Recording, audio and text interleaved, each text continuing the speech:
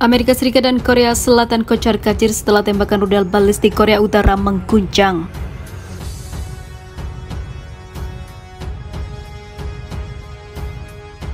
우리 무력의 일상적인 모든 행동들을 도발로 위협으로 얻어하고 있는 이국이 우리 국가의 안전을 엄중히 위협하는 대규모 합동군사 연습들을 뻗어시 벌려놓고 있는 이중적 행태는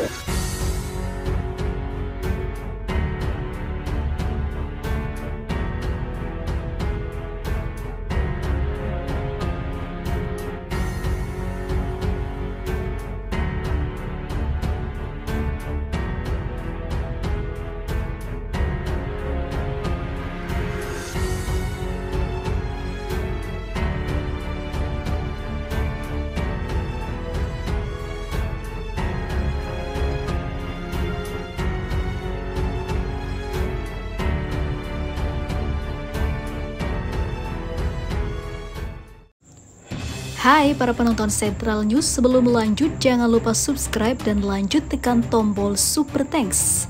Tombol Super Thanks ada di atas tombol subscribe. Jika Anda ingin mensupport channel kami menyajikan berita yang paling Anda tunggu-tunggu. Terima kasih.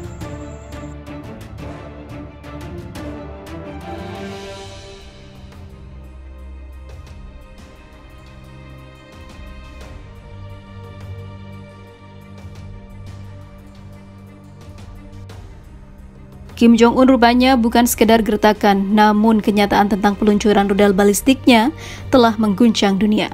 Bahkan Korea Selatan yang menjadi tetangganya sudah sangat tidak aman dan mencari perlindungan.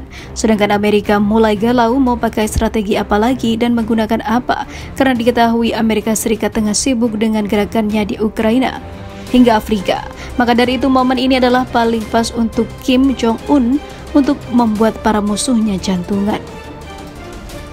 Ketegangan antara Korea Utara dengan Amerika Serikat dan Korea Selatan kian memuncak setelah ketiga negara memulai aktivitas militer tingkat tinggi di semenanjung Korea.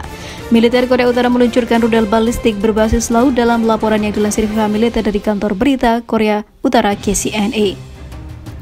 Peluncuran rudal balistik diawasi langsung oleh pemimpin tertinggi Korea Utara Kim Jong-un. Kim menyaksikan langsung dan melakukan inspeksi armada kapal permukaan kedua, Armada Laut Timur, Angkatan Laut Tentara Rakyat Korea Utara atau KPAN. Kim juga melihat Bagaimana kesiapan para prajurit Angkatan Laut Korea Utara melakukan patroli sebelum menembakkan rudal balistik berkemampuan nuklir? Sejumlah analis militer meyakini jika Kim secara langsung ingin menunjukkan postur kekuatan reguler armada kapal perang dengan senjata nuklir dan mobilisasi dan juga kemampuan ofensif. Kapal perang dan keistimewaan sistem misilnya membuat para pelaut terampil dalam melakukan misi penyerangan dalam perang sesungguhnya. Bunyi pernyataan KCNA kapal dengan cepat mencapai sasaran bahkan tanpa kekalahan. Lanjut pernyataan tersebut, seperti diketahui, Kim sangat berambisi meningkatkan kemampuan armada tempur laut dengan pembuatan kapal perang dan kapal selam. Berikut sistem persenjataan nuklir. Korea Utara akan memacu modernisasi senjata dan peralatan angkatan laut termasuk pembangunan kapal perang yang kuat dan pengembangan sistem senjata kapal dan juga bawah air katanya. Di sisi lain, militer Amerika Serikat dan Angkatan Bersenjata Korea Selatan atau ROK Armed Forces menjalani latihan kontingensi, mulai dari peningkatan kemampuan pos komando berbasis komputerisasi, operasi tempur gabungan hingga pertahanan sipil. Aksi gabungan ini adalah sikap Amerika Serikat dalam menghadapi Korea Utara. Selain menegaskan komitmen terhadap keamanan Korea Selatan, Amerika juga mengambil tindakan terkait dengan resolusi Dewan Keamanan Persatuan Bangsa-Bangsa atau DKPBB tentang denuklerisasi Korea Utara. Kami menegaskan kembali komitmen kami untuk denuklerisasi lengkap Republik Rakyat Demokratik Korea atau DPRK. Sesuai dengan resolusi DKPBB mendesak DPRK untuk meninggalkan program rudal nuklirnya. Bunyi pernyataan bersama Amerika Serikat dan Korea Selatan. Kami sangat mengutuk jumlah peluncuran rudal balistik Korea Utara yang belum pernah terjadi sebelumnya lanjut pernyataan tersebut. Di sisi lain, Amerika tutup mulut dengan kepunyaan atau kepemilikan Israel atas nuklirnya yang ilegal. Seruan perang Kim Jong-un menggema, Korea Utara dan Rusia tak terkalahkan siap jadikan kalian cacing kepanasan. Yang terbaru kali ini, pemimpin Korea Utara Kim Jong-un menyerukan perang terhadap musuh-musuhnya setelah memecah jenderal perangnya. Kim semakin menggila dengan rentetan senjata canggih yang dimiliki Korea Utara. Negara yang sangat diwaspadai Amerika dan sekutu ini kembali mengguncang setelah mengumumkan jika Korea Utara dan Rusia bersatu siap menumpas kesombongan Amerika dan negara-negara NATO lainnya.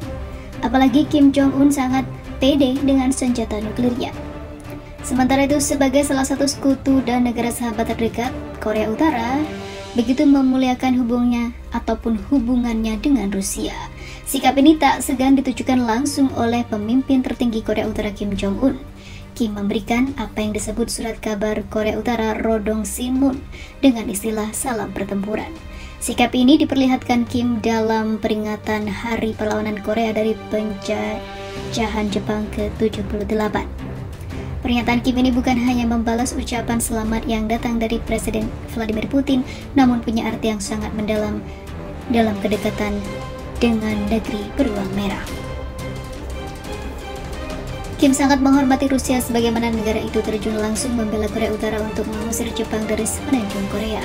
Keberanian dan jasa para prajurit tentara merah Uni Soviet, perjuangan Soviet mendukung tentara rakyat Korea adalah kontribusi besar yang tak bisa dibeli berapapun harganya menurut Kim. Sikap Uni Soviet hingga kini berubah menjadi Rusia, dinilai Kim tak pernah berubah. Sejak sejarah itu tercatat, Rusia dinilai setelah ataupun telah meletakkan sebuah tradisi mulia dalam persahabatan dengan Korea Utara. Para prajurit tentara merah, putra dan putri rakyat Rusia yang terkasih setelah kekalahan fasisme yang mengancam umat manusia, ucap Kim dalam pidatonya dilansir family tadi kantor berita Rusia RIA Novosti dengan rasa tanggung jawab, tinggi dan keberanian bangkit ke perang suci melawan militerisme Jepang dan memenangkan kemenangan cemerlang. Rusia memberikan kontribusi besar bagi tujuan besar pembebasan nasional perdamaian rakyat katanya. Oleh sebab itu menurutnya semangat perjuangan para pendahulu baik prajurit militer Korea Utara dan juga tentara merah Uni Soviet harus terus dijaga sebagai warisan paling berharga dalam persahabatan Korea Utara Rusia.